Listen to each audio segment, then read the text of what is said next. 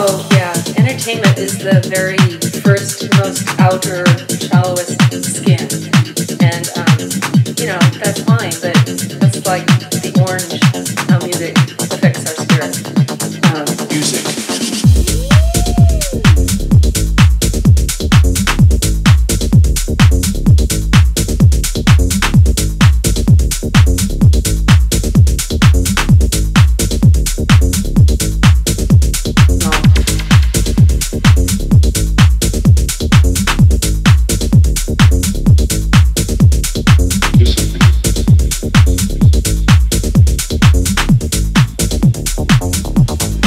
music.